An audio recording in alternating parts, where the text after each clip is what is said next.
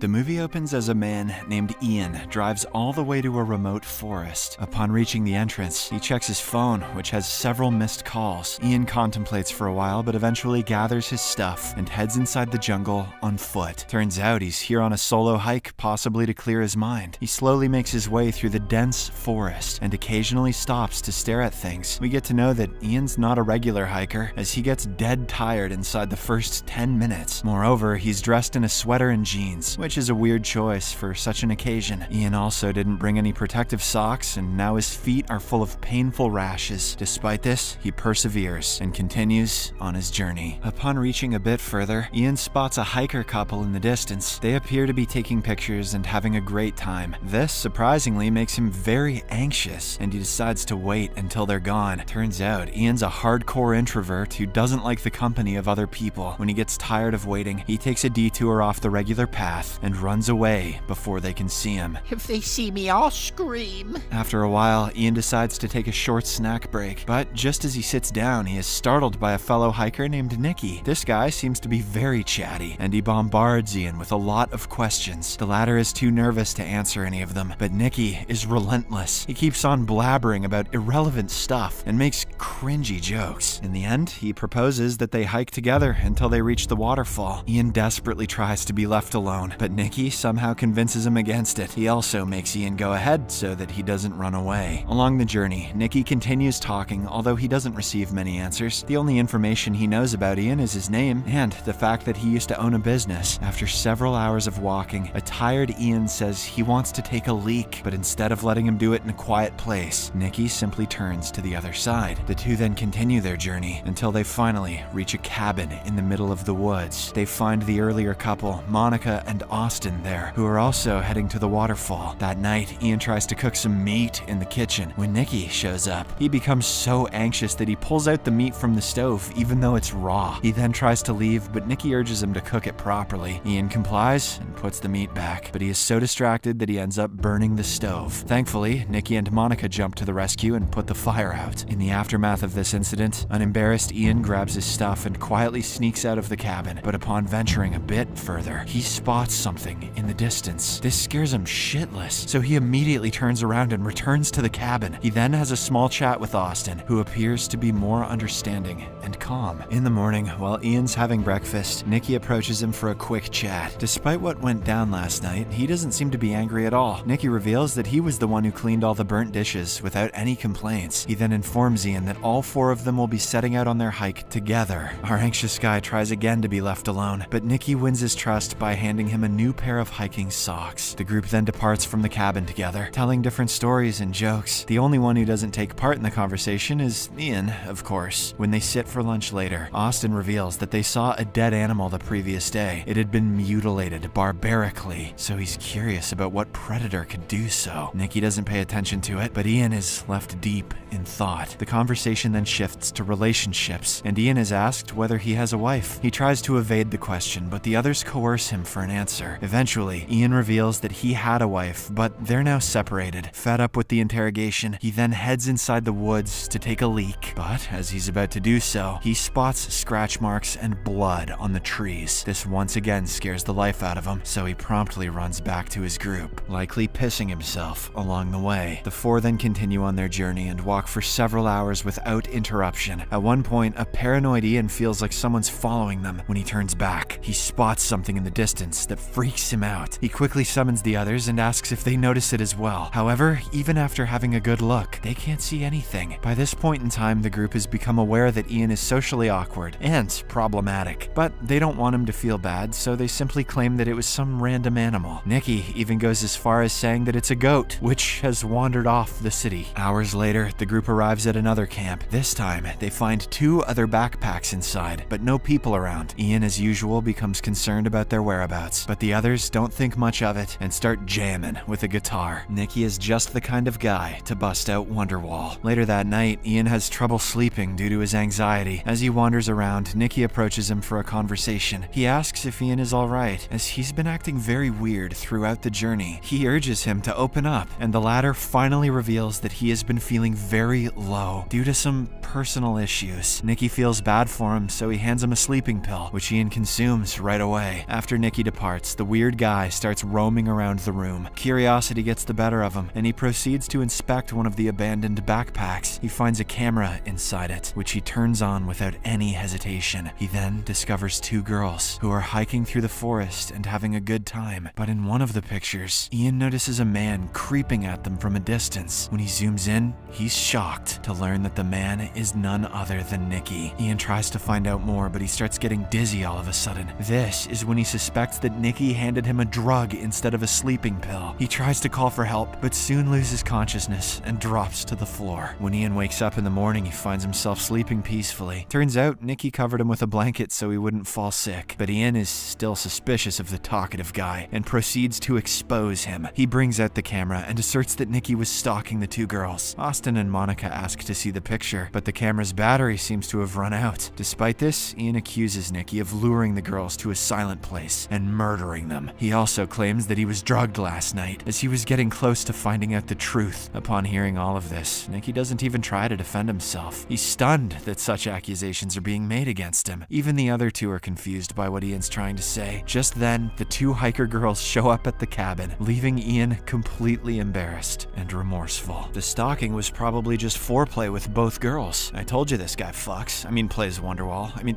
uh, same thing. In the next scene, he approaches Nicky and apologizes for his behavior. He claims that he's become paranoid because of the lack of sleep and proper rest. Surprisingly, Nikki still forgives him and acts as if nothing happened. Austin and Monica are also cool with the situation as they feel really bad for Ian. They try to support him in every way they can. Later, they pack their belongings and continue on their journey. They soon arrive at a crossroads, one way leading to the waterfall and the other to Cowrie Forest. Monica and Austin then announce that they want to head towards the forest as they've heard it's much more beautiful. So the two groups part ways and go in separate directions. The boys walk for several more hours and it starts getting dark. At one point, Ian again spots something in the distance that makes him scared, but his fear soon disappears when they are greeted by the beautiful waterfall. The two take a moment to rejoice at the majestic sight before continuing on their journey. After a while, it gets completely dark and they have to make their way through a narrow road. Ian proposes that they take another route, but Nikki insists that they don't have another choice. He then hands the scared guy his expensive flashlight and asks him to lead the way. Ian reluctantly moves forward and navigates through the dark place, but he soon loses his footing and slips, causing the flashlight to fall down the slope. This annoys Nicky, and he orders Ian to get down there and retrieve it. He also makes it known that he spent $300 on it. Accuse me of murder if you want, but get that flashlight,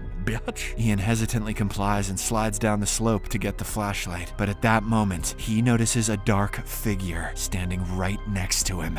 Panicked, he turns away from there while screaming at the top of his lungs. Monica and Austin, who happen to be nearby, hear his cries and rush to him. Nikki also arrives there, and they look down to find what was chasing Ian. However, they once again don't see anything. Upon reaching the nearest cabin, Nikki, Austin, and Monica have a serious discussion. They are concerned for Ian and want to get him out of this jungle ASAP. Since the couple are on their honeymoon, Nikki graciously offers to escort him out. He is still willing to help the anxious, weird stranger, despite everything that has happened. The trio then approaches Ian and informs him of their decision. Surprisingly, he doesn't have any problem with it. The very next morning, Ian and Nikki set out on their journey towards the city. They walk for hours and hours until Nikki has to poop, so he goes to a corner. Ian then takes this moment of solitude to reflect on everything that's been going on, but while he's lost in his thoughts, he realizes that Nikki has still not returned. He calls out for him, but receives no response. Ian slowly heads in the direction where his friend has gone a while ago, but he soon comes across a horrific sight which shocks him